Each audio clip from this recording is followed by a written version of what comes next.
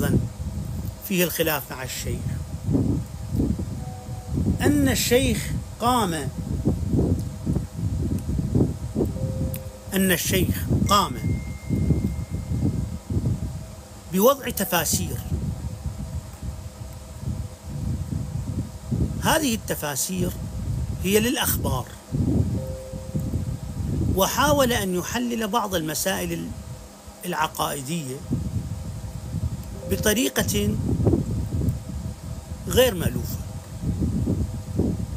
واستعمل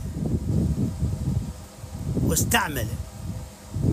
في ذلك بعض المفردات أو بعض الكلام الذي قد يعده البعض مجملا يعني غير واضح.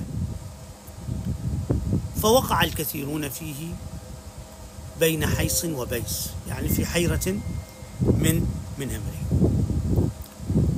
ومما حاوله هو أن حاول أن يفسر بعض العقائد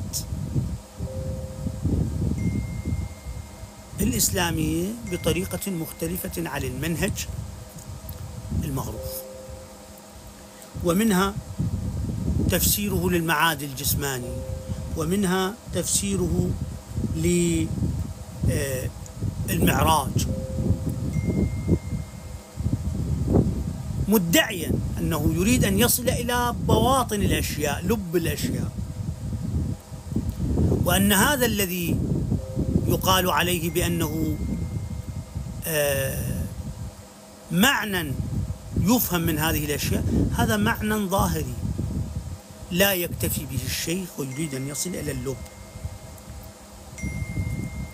ولهذا يقول البعض أن واحدا من أسباب وقوع الشيخ في المشاكل هو محاولته تفسير بعض القضايا العقائدية بطريقته الخاصة.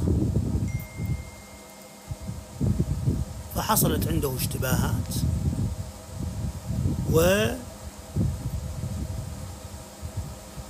ذهب إلى أمور